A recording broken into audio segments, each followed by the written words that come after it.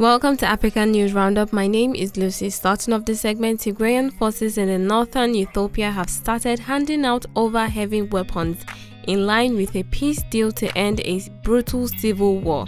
The African Union AU said it was a step in the right direction to ending the two year long conflict. Hundreds of thousands of people are estimated to have died from starvation, a lack of medical care, and fighting. But a peace agreement signed between the Ethiopian government and the Tigrayan forces in November means the region is beginning to open up again. So, what does that mean for the Tigray people? Will handing over weapons be a permanent peace move? Moving on, Uganda has declared the end of a nearly four month Ebola outbreak since it struggled briefly to contain but was then swiftly able to bring it under control despite the absence of a proven vaccine against the virus strain in question. According to the health minister Jane Ruth Aceng, they have successfully controlled the spread of Ebola, in which 55 of the 143 people were infected since September.